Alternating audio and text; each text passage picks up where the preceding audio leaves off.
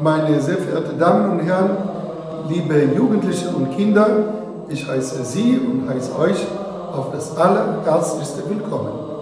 Wir befinden uns hier im koptischen orthodoxen Kloster der heiligen Jungfrau Maria und des heiligen Mauritius in Höchster Brinkhausen. Durch den Wohlstand werden die Menschen älter.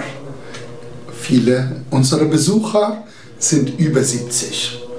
Das häufigste Problem, was diese Menschen konfrontieren, ist das Thema hohen Blutdruck.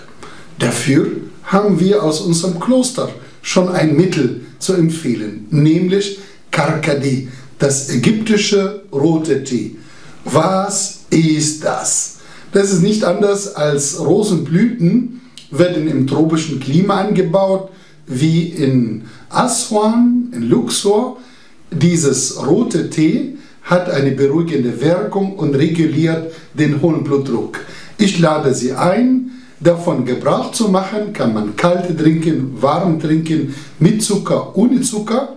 Bitte, bitte, wenn Sie den Tee gewonnen haben, die Blätter nicht sofort entsorgen, denn die sind säurehaltig und kann man verwenden für die Entkalkung der Wasserkocher, denn das ist genauso wirkungsvoll wie Essig oder Zitronen.